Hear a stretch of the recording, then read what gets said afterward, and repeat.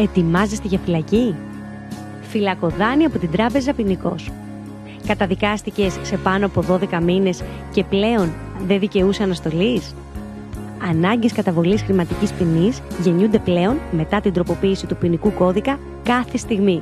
Στιγμιαίο φυλακοδάνειο σε μία ώρα. Σχεδίασε ελεύθερα τη ζωή σου. Για μια άτυχη στιγμή το θέλεις, σε μια στιγμή το παίρνεις.